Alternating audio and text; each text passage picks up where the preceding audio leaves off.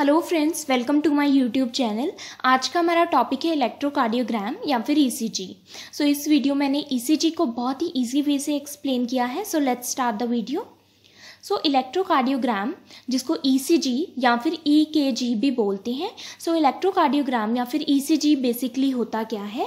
सो so, ये इसको समझाने के लिए पहले मुझे आपको conducting system of the heart explain करना होगा। सो so, हमारे हार्ट में हमारा हार्ट बीट करता है ये हमको पता है।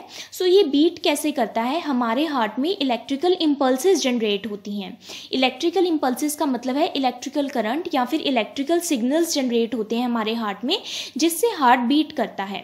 So first thing that is sino atrial node जो कि हमारे राइट एट्रियम में प्रेजेंट होता है साइनो एट्रियल नोड या फिर SA node so SA node क्या है? प्राइमरी पेस मेकर है हार्ट का जहाँ से इलेक्ट्रिकल इम्पल्सेस जनरेट होती हैं. सो so, ये इलेक्ट्रिकल इम्पल्सेस एसए नोड से जनरेट होकर हमारे एट्रिया में स्प्रेड हो जाती हैं जिससे एट्रियम क्या होते हैं? कॉन्ट्रैक्ट होते हैं. सो so, एट्रिया से देन ये इम्पल्सिस को कौन रिसीव करता है?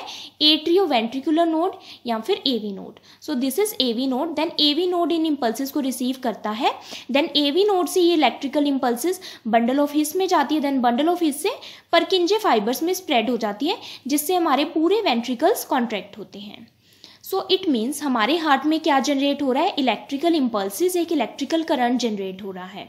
सो so, क्योंकि हार्ट में एक इलेक्ट्रिकल करंट जनरेट हो रहा है सो so ये इलेक्ट्रिकल इम्पल्सिस या फिर करंट जो हमारे बॉडी टिश्यूज़ हैं जैसे कि स्किन या फिर बॉडी के फ्लूड्स वो गुड कंडक्टर होते हैं इलेक्ट्रिसिटी के वो इस इलेक्ट्रिसिटी या फिर इस इलेक्ट्रिकल करंट को रिसीव करते हैं।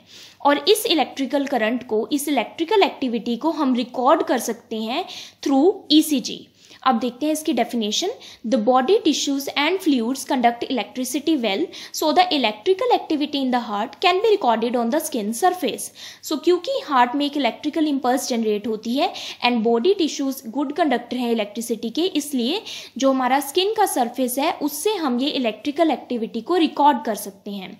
सो so ये आप डायग्राम में देख देख सकते हैं.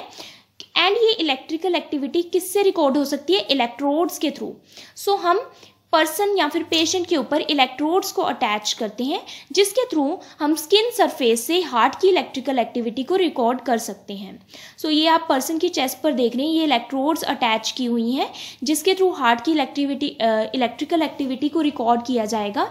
एंड पर्सन की जो आर्म्स हैं और जो लेग्स हैं जिनको बोलते हैं लिम्स वहाँ पर भी इलेक्ट्रोड्स अटैच की जाती हैं।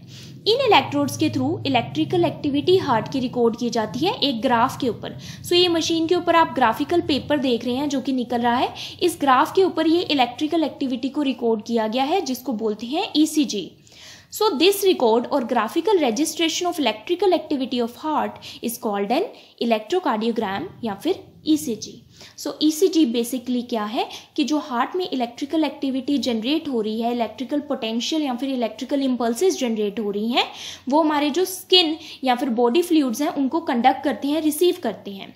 और इलेक्ट्रोड्स को अटैच कर कर हमारी बॉडी पर इस इलेक्ट्रिकल एक्टिविटी जो कि हार्ट की है, उसको रिकॉर्ड किया जा सकता है एक ग्राफ पर, जिसको कहते हैं electrocardiogram now Einthoven Willem so Einthoven Willem कौन है? Is known as the father of ECG इसको इसलिए बोला जाता है क्योंकि इन्होंने ईसीजी को डिस्कवर किया था ईसीजी को इन्वेंट किया था। सो so, ये एक डच फिजियोलॉजिस्ट हैं जिन्होंने ईसीजी को डिस्कवर किया था इसलिए इनको फादर ऑफ़ ईसीजी बोला जाता है। नाउ इलेक्ट्रोकार्डियोग्राफी क्या होता है? सो so, इलेक्ट्रोकार्डियोग्राफी क्या है? एक टेक्निक है एक प्रोसीजर है जिससे electrical activity of the heart को रिकॉर्ड किया जाता है स्टडी किया जाता है। So electrical activity of the heart जिसको रिकॉर्ड किया जाता है उसको बोलते हैं ईसीजी e और इस टेक्निक या फिर प्रोसीजर को बोलते हैं इलेक्ट्रोकार्डियोग्राफी ना वट इज़ इलेक्ट्रोकार्डियोग्राफ सो जो प्रीवियसली मैंने ये आपको मशीन शो की थी सो so इस डायग्राम में ये जो मशीन है, इसको बोलते हैं इलेक्ट्रोकार्डियोग्राफ सो so, ये मशीन के थ्रू हम ईसीजी e को रिकॉर्ड करते हैं. सो इलेक्ट्रोकार्डियोग्राफ क्या है? The machine by which the electrical activities of the heart are recorded now what is electrocardiographic paper so ये मशीन से जो आप पेपर देख रहे हैं, जो पेपर निकल रहा है ग्राफ निकल रहा है, जिसके ऊपर हम ईसीजी e को रिकॉर्ड करते हैं, इसको बोलते हैं इलेक्ट्रोकार्डियोग्राफिक पेपर सो ये क्या है? एक ईसीजी पेपर है इलेक्ट्रोकार्डियोग्राफिक पेपर है.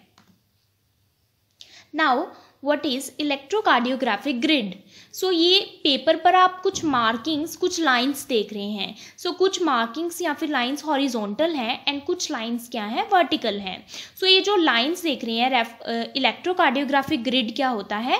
रेफर्स टू द मार्किंग्स या फिर lines on ECG paper so ये जो लाइंस या फिर मार्किंग्स है ईसीजी पेपर पर इसको बोलते हैं इलेक्ट्रोकार्डियोग्राफिक ग्रिड ईसीजी पेपर्स पर हॉरिजॉन्टल लाइंस होती हैं वर्टिकल लाइंस होती हैं एंड ये इक्वल इंटरवल पर होती हैं। इक्वल इंटरवल का मतलब है कि ये जो लाइंस हैं, ये वन एम mm के डिस्टेंस पर हैं वन मिलीमीटर के डिस्टेंस पर हैं। और जो फिफ्थ लाइन है सो ये फिफ्थ लाइन है, ये फिफ्थ लाइन क्या होती है? थिक होती है। सो ये जो फिफ्थ लाइन है चाहे आप वो दिस साइड से देख लें first second third fourth fifth या फिर यहाँ से first second third fourth fifth so fifth line क्या थिक है और ये थिक लाइंस क्या बनाती हैं? एक लार्ज बॉक्स बनाती हैं। सो so, ये एक लार्ज बॉक्स है एंड इस लार्ज बॉक्स के अंदर बहुत सारे स्मॉल बॉक्सेस होते हैं। ये स्मॉल बॉक्सेस किस लेंथ के होते हैं? ये वन एम mm के होते हैं। सो so, ये एक स्मॉल बॉक्स है ये वन एम mm का है। चाहे इस साइड से ले लीजिए आप चाहे इधर से या किसी भी साइड से वन एम mm का है क्योंकि ये स्क्वायर है। और ये जो लार्ज बॉक्सेस का ये है, ये फाइव एम mm का है क्योंकि ये इधर से फाइव स्मॉल बॉक्सेस से बना है। One two three four five इधर से भी one two three four five वैसे तो इसके अंदर twenty five total small boxes हैं, लेकिन अगर हम इधर साइड जाएँ सो ये फाइव स्मॉल बॉक्सेस तो क्योंकि एक small box one M mm का है सो इसकी टोटल लेंथ कितनी होती है? फाइव एम एम सो ये भी एक स्क्वायर है, जिधर मर्ज़ी साइड से आप देख लीजिए, ये फाइव एम mm का ही है हर साइड से। सो स्मॉल बॉक्स कितने इंक्लूड करता है? स्मॉल बॉक्स की हाइट है वन एम mm और फाइव एम mm किसकी है? एक लार्ज बॉक्स की देन हम टाइम ड्यूरेशन एम्पलीट्यूड और स्पीड की बात करेंगे। ये हम कैसे शो करते हैं ईसीजी e पेपर पर। सो so, फ़र्स्ट हम बात करेंगे टाइम ड्यूरेशन की। सो so, जो टाइम है वो हम एक्स एक्सिस यानी हॉरिजॉन्टली शो करते हैं। सो so, ये क्या है? एक्स एक्सिस है हॉरिजॉन्टल है। सो so, इस पर हम टाइम शो करेंगे। सो स्मॉल बॉक्स जो कि वन एम mm का होता है। सो so, ये वन एम mm है राइट right? सो so, ये वन एम mm है। सो so, ये स्मॉल बॉक्स वन एम कितने टाइम को शो करता है? पॉइंट ज़ीरो फोर सेकेंड्स को। अब हम बात करते हैं लार्ज बॉक्स की जो कि फाइव एम mm का होता है। सो फाइव एम mm किसको शो करता है? पॉइंट टू ज़ीरो सेकेंड्स को। Right right? अब हम बात करेंगे एम्पलीट्यूड की। सो so, एम्पलीट्यूड क्या है? कि किस वोल्टेज से वेव बनेगी कितनी हाइट से वेव बनेगी उसको बोलते हैं एम्पलीट्यूड सो एम्पलीट्यूड शो होता है वाई एक्सिस पर। सो वाई एक्सिस या फिर वर्टिकली हम एम्पलीट्यूड को शो करते हैं। सो so, ये क्या है? One M M right so one M M का डिस्टेंस कितने एम्पलीट्यूड को शो करता है? पॉइंट वन मिली वोल्ट को। और जो फाइव एम एम सो ये है five M M five M M कितने वोल्ट को शो करता है? पॉइंट फाइव मिली वोल्ट को। Now speed of the paper so speed जो है पेपर की, वो दो तरह से एडजस्ट की जा सकती है। एक 25 फाइव एम mm पर सेकेंड पर और एक 55 फाइव एम mm पर सेकेंड पर। लेकिन वो डिपेंड करता है। अगर आपका हार्ट रेट ज़्यादा हाई है तो आप 50 एम mm पर सेकेंड पर ई पेपर की स्पीड रखेंगे। लेकिन अगर आप यूजुअली जो कि नॉर्मली होता है वो हम स्पीड किस पर फिक्स करते हैं? 25 फाइव mm पर सेकेंड पर। सो so, यूजुअली जो स्पीड ऑफ़ पेपर है वो फिक्स रहती है 25 फाइव mm पर सेकेंड पर। सो so, ये कुछ चीज़ें थी जो कि ईसीजी e पेपर के बारे में आपको पता होनी ज़रूरी हैं। देन है यूजेज ऑफ़ ईसीजी या फिर ई के जी सो ई सी जी या फिर ई के जी हम क्यों यूज़ करते हैं? किस किस चीज़ के लिए यूज़ करते हैं? अगर पर्सन को हार्ट रेट का रिस्क है सो उसके लिए हम ई सी जी प्रिस्क्राइब करते हैं। देन हार्ट रिदम में अगर कोई प्रॉब्लम है रिदम अगर एरिदमिया है रिदम नॉर्मल नहीं है सो उसको देखने के लिए एबनॉर्मल इलेक्ट्रिकल कंडक्शन अगर इलेक्ट्रिकल करंट अच्छे से कंडक्ट नहीं हो पा रहा हार्ट में, कोई वेंट्रिकल्स या फिर एटिया के कॉन्ट्रैक्ट और रिलैक्स होने में प्रॉब्लम आ रही है, उसका रिस्क है सो उसको देखने के लिए poor blood flow to heart muscle अगर जो हार्ट मसल है, उसको अच्छे से ब्लड नहीं मिल पा रहा है मायोकार्डियम को अच्छे से ब्लड नहीं मिल पा रहा, जिसको स्कीमिया कहते हैं सो उसको देखने के लिए देन हार्ट अटैक को डायग्नोज करने के लिए कॉर्नरी आर्टरी डिसीज को देखने के लिए कि कॉर्नरी आर्टरी में कोई ब्लॉकेज तो नहीं है उसको देखने के लिए हाइपरट्रॉफी तो नहीं है किसी हार्ट चैम्बर की। नाउ बाइपोलर लिम्ब लीड्स और इनको स्टैंडर्ड लिम्ब लीड्स भी बोलते हैं। सो लाइन वाइज हम इन लीड्स को पढ़ेंगे। सो so, ये लिम्ब लीड्स है इसलिए लिम्ब्स पर अटैच होती है हमारे आर्म्स और लेग्स पर। सो so, बाइपोलर इनको इसलिए बोला है क्योंकि दोनों इलेक्ट्रोड्स क्या होंगे? एक्टिव होंगे। अगर एक इलेक्ट्रोड पॉजिटिव नेगेटिव है सो दूसरा इलेक्ट्रोड नेगेटिव होगा इट मीन्स ऑपोजिट पोलैरिटी के होंगे। Two limbs are connected to obtain these leads two limbs को कनेक्ट किया जाता है सपोज़ राइट आर्म को लेफ़्ट आर्म के साथ राइट आर्म को लेफ़्ट लेग के साथ या फिर लेफ़्ट आर्म को लेफ़्ट लेग के साथ। सो so, दोनों लिम्स आपस में कनेक्टेड होते हैं। Both the electrodes are active और दोनों इलेक्ट्रोड्स क्या होते हैं एक्टिव होते हैं लेकिन ऑपोजिट पोलैरिटी के होते हैं। सपोज़ राइट आर्म अगर नेगेटिव इलेक्ट्रोड है सो लेफ़्ट आर्म क्या होगी पॉजिटिव अब इन लीड्स को हम लाइन वाइज स्टडी करेंगे। सो बाइपोलर लिम्ब लीड्स कितनी होती हैं? Three so first lead number one limb lead one इसमें क्या होता है? Right arm is connected to negative terminal of instrument and left arm is connected to the positive terminal so right arm किससे connected है? Negative terminal से और left arm किससे connected है? पॉजिटिव सो लीड वन क्या करती है? Right arm और लेफ़्ट आर्म को कनेक्ट करती है एंड इन दोनों के बीच का इलेक्ट्रिकल डिफरेंस रिकॉर्ड करती है। सो ऑपोजिट पोलैरिटी होगी right arm negative left arm positive then lead two lead two क्या करती है? राइट right आर्म को लेफ़्ट लेग से जोड़ती है. सो राइट आर्म क्या है? नेगेटिव टर्मिनल है और लेफ़्ट लेग क्या है? पॉजिटिव टर्मिनल है. Then limb lead three lead three क्या करती है? लेफ़्ट आर्म को लेफ़्ट लेग से कनेक्ट करती है. सो लेफ़्ट आर्म क्या है? नेगेटिव है एंड लेफ़्ट लेग क्या है? पॉजिटिव है.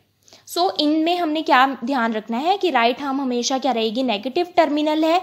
लेफ़्ट लेग क्या है? पॉजिटिव टर्मिनल है। लेकिन जो लेफ़्ट आर्म है वो पॉजिटिव भी हो सकती है नेगेटिव भी depending on the lead then आते हैं हमारे यूनिपोलर लीड सो यूनिपोलर का क्या मतलब है? A lead compose of a single positive electrode इसमें क्या होता है? एक लीड में सिर्फ़ एक ही सिंगल इलेक्ट्रोड होता है एंड वो भी क्या होता है? पॉजिटिव इलेक्ट्रोड होता है, जिसको बोलते हैं एक्टिव इलेक्ट्रोड लेकिन बाइपोलर में क्या था? दो इलेक्ट्रोड्स थे, एक पॉजिटिव और एक नेगेटिव इसमें सिर्फ़ एक सिंगल पॉजिटिव इलेक्ट्रोड होगा एक्टिव इलेक्ट्रोड लेकिन एक रेफरेंस पॉइंट ज़रूर होगा।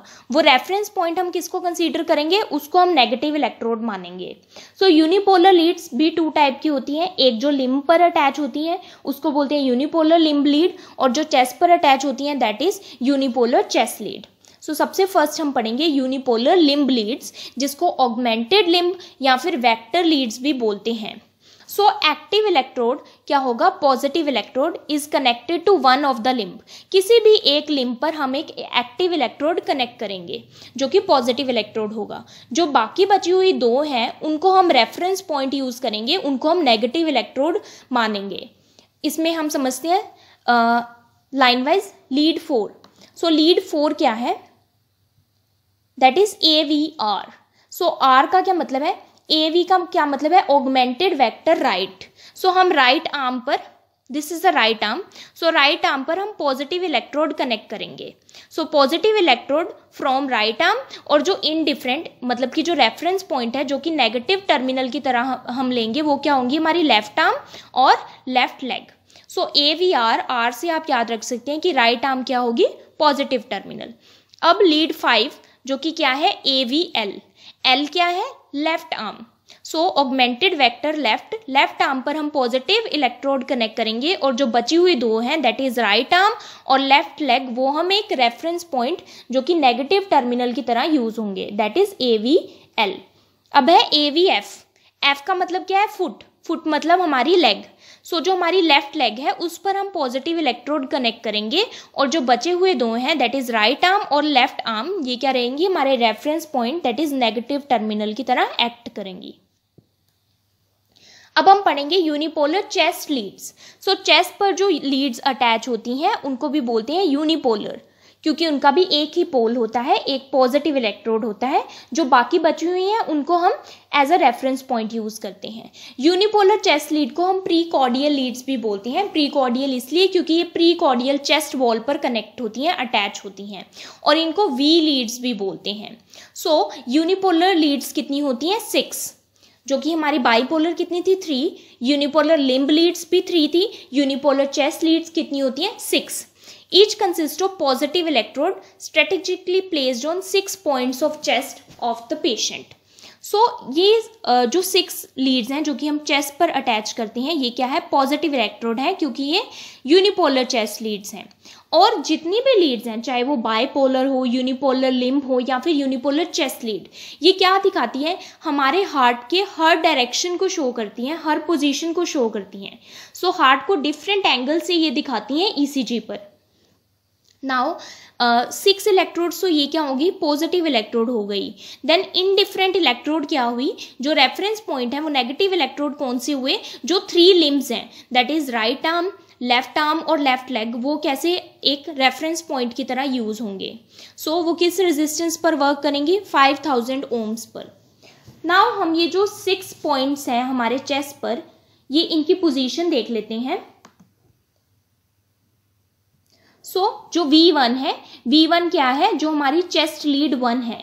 ये कहाँ पर प्लेस होती है? फोर्थ इंटरकोस्टल स्पेस पे नियर राइट स्टर्नम सो ये क्या हमारी? One two three four so ये फोर्थ इंटरकोस्टल स्पेस जो कि रिब फोर और रिब फाइव के बीच में है इसको क्या बोलते हैं? फोर्थ इंटरकोस्टल स्पेस लेकिन ये राइट right साइड जो राइट स्टर्नल बॉर्डर है वहाँ पर वी वन यानी फ़र्स्ट चेस्ट लिम्ब प्लेस होगी।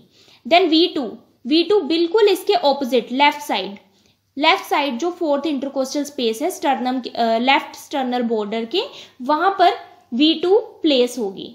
देन वी थ्री की अभी हम बात नहीं करेंगे। वी फोर कहाँ पर प्लेस होगी?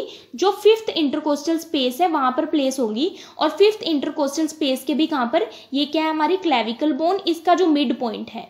सो so, ये जो मिड मिड से लेंगे सो so मिड में मिड क्लेविकुलर लाइन के फिफ्थ इंटरकोस्टल स्पेस पर ये प्लेस होगी। अब जो थर्ड हमारी चेस्ट लीड है, वो कहाँ पर प्लेस होगी? वी टू और वी थ्री के बीच वी फोर के बीच में। सो so, ये वी थ्री है वी टू और वी फोर के बीच में। अब वी फाइव कहाँ पर प्लेस होती है? ये भी फिफ्थ इंटरकोस्टल स्पेस पर ही प्लेस होती है वी फाइव लेकिन ये कहाँ पर प्लेस होती है? Left anterior axillary line so ये क्या है हमारा एक्जिला और एक्जिला की एंटीरियर लाइन क्या है? ये वाली। सो लेफ़्ट साइड की वहाँ पर प्लेस होती है। जो वी सिक्स है, वो मिड ऑक्सिलरी लाइन सो ये क्या है? मिड में। सो so, ये मिड ऑक्सिलरी लाइन है, वहाँ पर वी सिक्स प्लेस होगी। और ये भी फिफ्थ इंटरकोस्टल स्पेस पर प्लेस होगी। इन पोजिशन को आपको पता होना ज़रूरी है। Now G of one cardiac cycle so एक पूरी कार्डियक साइकिल की ई सी जी क्या होती है? सो so, एक normal E C G tracing shows five waves that is P Q R S T एक नॉर्मल जो ई सी जी है एक कार्डियक साइकिल की उसमें कितनी वेव होती हैं? फाइव वेव्स होती हैं that is P Q R S T P Q R S T so ये ए से नहीं स्टार्ट होती पी से स्टार्ट होती है। So P wave arises when the impulse from the S C node sweeps over the atria so मैं heart का एक डायग्राम बना देती हूँ। सो सपोज़ ये हार्ट के फोर चैम्बर्स हैं।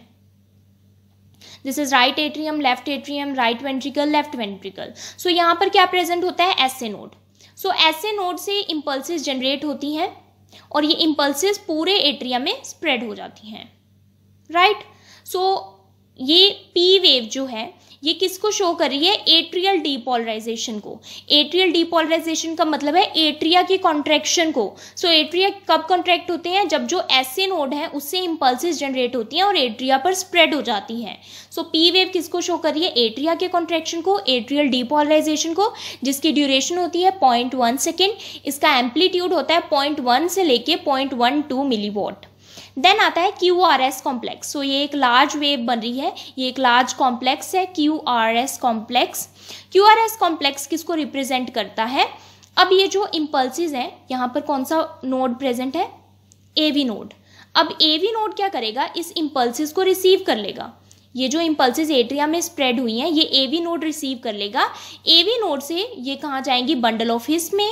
वेंट्रिकुलर जो सेप्टम है, उससे बंडल ऑफ़ में देन परकिंजे फाइबर्स पूरे वेंट्रिकल्स में ये स्प्रेड हो जाएँगी। So Q R S complex किसको शो कर रहा है? वेंट्रिकुलर डीपोलराइजेशन को। सो वेंट्रिकुलर डीपोलराइजेशन मतलब वेंट्रिकल्स के कॉन्ट्रेक्शन को, और ये कॉन्ट्रेक्शन कब होगी? जब ए वी नोड उन इम्पल्सिस को रिसीव करेगा ए वी नोड से बंडल ऑफ़ में जाएगी बंडल ऑफ़ से परकिंजे फाइबर्स और पूरे वेंट्रिकल्स में ये इम्पल्स स्प्रेड हो जाएगी, जिससे वेंट्रिकुलर डीपोलराइजेशन हो जाएगा मतलब वेंट्रिकल्स कॉन्ट्रैक्ट हो जाएँगे।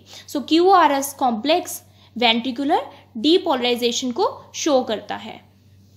और इसकी ड्यूरेशन कितनी होती है? पॉइंट ज़ीरो एट से लेके पॉइंट वन ज़ीरो सेकेंड्स तक इसका एम्पलीट्यूड एम्पलीट्यूड अलग अलग है। जो क्यू वेव है, उसका एम्पलीट्यूड है पॉइंट वन से लेके पॉइंट टू मिली वोट जो आर वेव है this is a large R wave इसका है वन मिली वोट और जो एस वेव है, इसका है point zero four millivolt so हम देख सकते हैं कि जो क्यू है, ये एक नेगेटिव है वेव आर वेव एक पॉजिटिव वेव है और जो एस वेव है वो नीचे की तरफ़ अगेन नेगेटिव वेव है। देन टी वेव किसको शो करती है?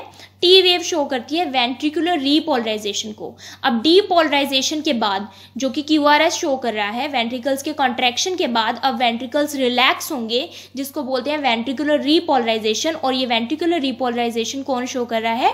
टी वेव इसकी ड्यूरेशन कितनी होती है? पॉइंट टू सेकेंड्स एंड इसका एम्पलीट्यूड होता है पॉइंट थ्री मिली वोट अब आप ये सोच रहे हैं कि वेंट्रिकल्स का कॉन्ट्रैक्शन हुआ डीपोलराइजेशन हुई देन रीपोलराइजेशन हुई वेंट्रिकल्स रिलैक्स हुए। लेकिन एट्रिया का सिर्फ़ हमने क्या शो किया है? डिपोलराइजेशन रिलैक्सेशन तो शो ही नहीं की। रिपोलराइजेशन तो यहाँ किसी वेव में शो ही नहीं हुआ। क्यों? क्योंकि जो क्यू आर एस कॉम्प्लेक्स है वेंट्रिकल्स का कॉन्ट्रैक्ट होना वो इतना लार्ज है कि जो एट्रिया का जो रिलैक्स uh, होना एट्रियल रिपोलराइजेशन वो इसी में मर्ज हो जाता है। इससे एक वेव बनती नहीं है। एट्रियल रिपोलराइजेशन की कोई वेव नहीं बनती। Atrial repolarisation occurs during ventricular contraction और ये कब हो रही है? साथ साथ ही हो रही है। जब वेंट्रिकल्स कॉन्ट्रैक्ट हो रहे हैं, उसी टाइम पर एट्रियम क्या हो रहे हैं? रिपोलराइज हो रहे हैं एट्रिया रिलैक्स हो रहे हैं। और क्योंकि क्यू आर एस कॉम्प्लेक्स क्या है? एक लार्ज कॉम्प्लेक्स है, इसलिए हम एट्रियल रिपोलराइजेशन की कोई वेव नहीं देख पाते। नाउ अब ये जो ईसीजी e बनी है ये कहाँ से जनरेट हुई है? ये ऐसे नोड से जनरेट हुई है। सो so, ऐसे नोड से जनरेट हुई है इसलिए इसको क्या बोलते हैं? साइनस रिदम और जो साइनस रिदम का जो रेट होता है वो कितना होता है? Sixty to hundred beats per minute now ECG में इंटरवल्स और सेगमेंट्स क्या होते हैं? सो so, पहले हमने वेव्स के बारे में पढ़ा है। सो फ़र्स्ट इंटरवल है P R interval so P R interval क्या होता है? ये पी वेव है। पी वेव से लेके क्यू वेव के शुरू होने तक जो इंटरवल है, उसको बोलते हैं P R interval so P R interval क्या है? Interval between onset of P wave so P wave से शुरू होने से पहले से लेकर onset of Q wave Q wave से शुरू होने के बीच का जो इंटरवल है ड्यूरेशन है, उसको बोलते हैं पी आर इंटरवल ये क्या शो करती है? Duration of conduction of impulses from S A node to ventricles via A V node so S A node से इम्पल्सिस जनरेट होती हैं और ए वी नोड उन इम्पल्सिस को रिसीव करता है. सो एस ए नोड से ए वी नोड जब उन इम्पल्सिस को रिसीव करता है सो so कितना टाइम लगता है, कितना ड्यूरेशन उसके बीच में आता है, उसको बोलते हैं पी आर इंटरवल और ये कितना होता है? पॉइंट वन टू से लेके point zero two seconds now point two zero seconds point one two से लेके point two zero seconds then R R interval क्या होता है? ये है आर सो नेक्स्ट वेव का जो आर होगा सपोज़ वो आर यहाँ पर है सो so, उन दोनों के बीच में जो इंटरवल है इंटरवल जो ड्यूरेशन है बिटवीन टू आर वेव्स उसको बोलते हैं आर आर इंटरवल सो ये आर आर इंटरवल क्या करता है? एक कार्डियक साइकिल को शो करता है. एक पूरी कार्डियक साइकिल को शो कर रहा है आर आर इंटरवल क्योंकि कार्डियल साइकिल हमारी पॉइंट एट सेकेंड की होती है तो इसकी ड्यूरेशन भी कितनी होगी? Point eight second now Q T interval Q कहाँ पर है? यहाँ पर ये क्यू है। सो so, क्यू के शुरू होने से पहले यहाँ से लेकर टी वेव के एंड होने तक जो इंटरवल है इस इंटरवल को क्या बोलते हैं? क्यू टी इंटरवल सो ये क्या शो करता है? वेंट्रिकुलर डीपोलराइजेशन एंड रीपोलराइजेशन क्योंकि क्यू जहाँ से स्टार्ट होता है वहाँ क्या शुरू होता है? वेंट्रिकुलर डीपोलराइजेशन क्योंकि क्यू आर एस क्या शो कर रहा है? वेंट्रिकल्स के कॉन्ट्रैक्ट होने को और टी वेव क्या शो कर रहा है? रीपोलराइजेशन वेंट्रिकल्स का relaxation so Q T interval क्या शो कर रहा है? वेंट्रिकल्स का कॉन्ट्रैक्शन और फिर रिलैक्सेशन सो so, ये कितना होता है? पॉइंट टू ज़ीरो से लेके पॉइंट फोर ज़ीरो सेकेंड्स अब ये इंटरवल ज़रूरी क्यों है? क्योंकि अगर इन इंटरवल से बहुत ज़्यादा टाइम लग रहा है या फिर बहुत ज़्यादा कम हो गया है टाइम तो वो किसी डिफेक्ट या फिर प्रॉब्लम को डायग्नोज करते हैं। देन है P R segment P R segment क्या होता है? ये है हमारी P wave so P wave के एंड होने के और आर वेव के स्टार्ट होने that is Q R S जो कॉम्प्लेक्स है, उसके स्टार्ट होने से पहले पी के एंड और क्यू आर एस कॉम्प्लेक्स के स्टार्ट होने के पहले जो सेगमेंट बन रहा है, ये जो एक फ्लैट लाइन बन रही है सो so ये फ्लैट लाइन किसको शो करी है? पी आर सेगमेंट को। सो so ये किसको शो करी है? Time delay between atrial and ventricular activation so जो टाइम डिले हो रहा है जो एट्रिया जब कॉन्ट्रैक्ट हो गए हैं और वेंट्रिकल्स जब कॉन्ट्रैक्ट होने स्टार्ट हुए हैं, उसके बीच में जो टाइम इंटरवल है, ये जो फ्लैट लाइन है, ये है पी आर सेगमेंट देन है S T segment so S T segment क्या है? ये एक और फ्लैट लाइन है एस टी सेगमेंट सो ये क्यू आर एस जो क्यू आर एस कॉम्प्लेक्स है, उसके एंड होने के बाद और टी वेव के स्टार्ट होने से पहले ये एक फ्लैट लाइन बन रही है, इसको बोलते हैं एस टी सेगमेंट ये क्या शो करिए है? क्यू आर एस क्या है? वेंट्रिकल्स कॉन्ट्रैक्ट हो गए, उसके बाद वेंट्रिकल्स रिलैक्स होने मतलब वेंट्रिकल के कॉन्ट्रैक्ट होने के बाद और वेंट्रिकल्स के रिलैक्स होने से पहले जो बीच में जो टाइम आ रहा है, दोनों के बीच में, जो फ्लैट लाइन शो हो रही है that is S T segment और ये कितना होता है point zero eight seconds If you understood this video, please like, subscribe and share my channel. Also do support women empowerment. Thank you for watching.